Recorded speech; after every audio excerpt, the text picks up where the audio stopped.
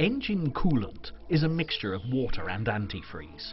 It also stops corrosion inside the engine. If the level gets low, it can cause overheating and serious damage.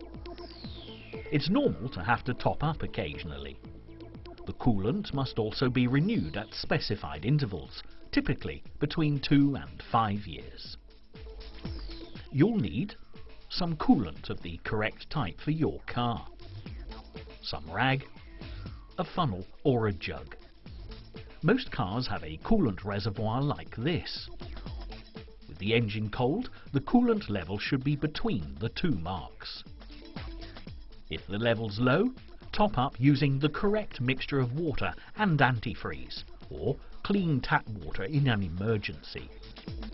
Don't overfill.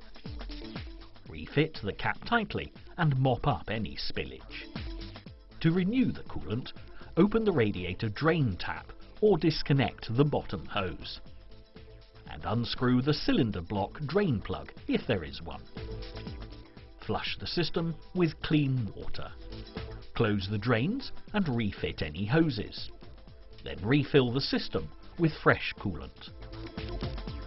Some cars have bleed screws which must be opened when refilling to avoid airlocks.